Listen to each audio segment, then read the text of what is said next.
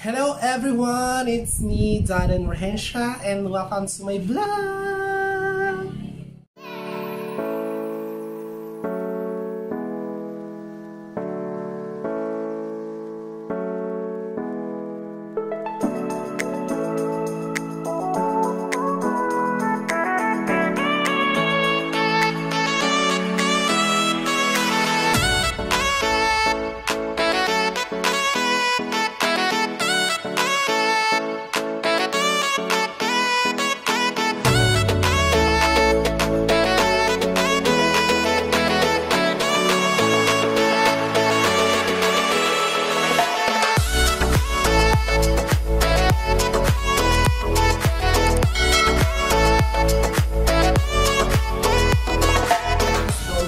To like and share.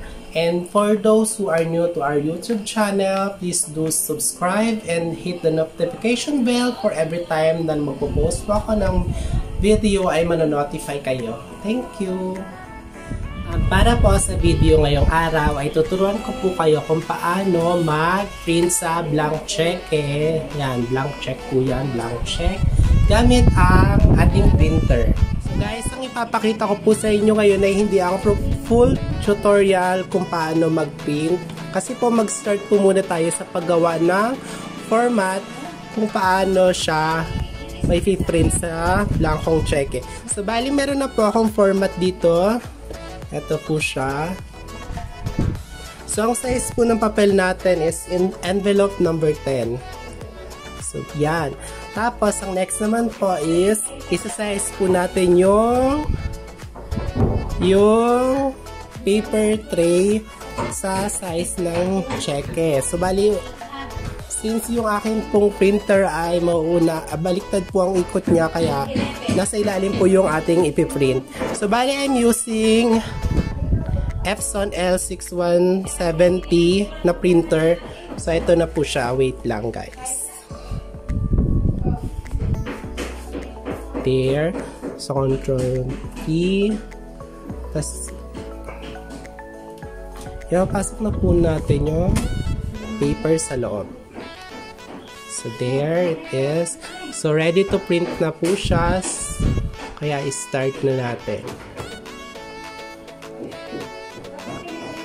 Oh my God. Sorry po, na, na tinanggal ko pala yung kanyang connector.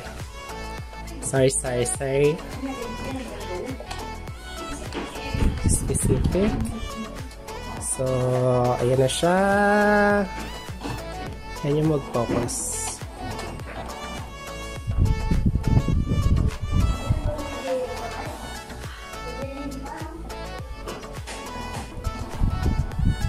So, eto na po siya, guys. Bali, pa-flash ko na lang po sa screen yung mismong picture. Kasi may mga masiselan po dapat na hindi ipakita. So, paulit-ulit lang po natin gagawin siya. Uh, we will just change their names and amount. So, eto na po siya, guys. Bali, pa-flash ko na lang po sa screen yung mismong picture. Kasi may mga masiselan po dapat na hindi ipakita. So, paulit-ulit lang po natin gagawin siya. Uh, we will just change their names and amount. Ulitin lang ang process. Lalagay ulit natin sa black checker sa loob ng printer. So, bali na tayo. Ang real ba na po tayo? Ang real by ang data. Okay, sa content. Tapos, pinagpulit natin.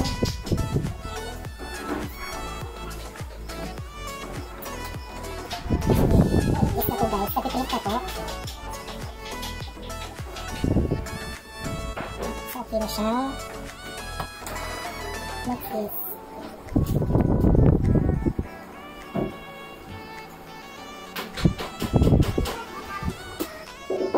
Oh yeah, ang is Pasapila na ito? So bali guys, salaries po nila ito. Ano, one month salaries. So pila is 1 6, 1,660 pounds per 6 months.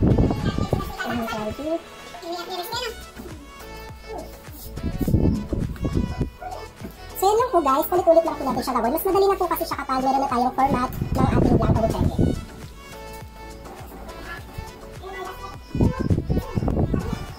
Okay. Next is pesos ko ito.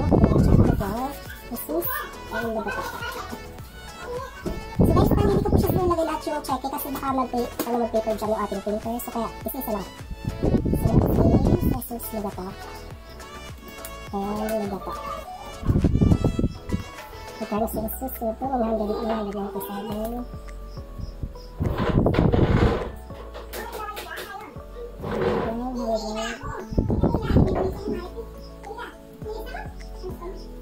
Well, holiday. Nine hundred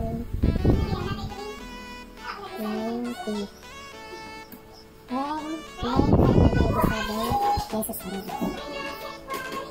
Nine hundred ninety-seven. So, bali magpa-flash na lang po ako ng picture sa baba ng mga check-in na nakompleto na nating filapan gamit ang printer. So, bali hindi ko po siya maipapakita sa inyo by video kasi may mga tatabunan po ako mga numbers which is important. Ano bang tawag doon? Confidential. Yan, thank you to RSK. Yan. So, ayun po. Thank you for watching.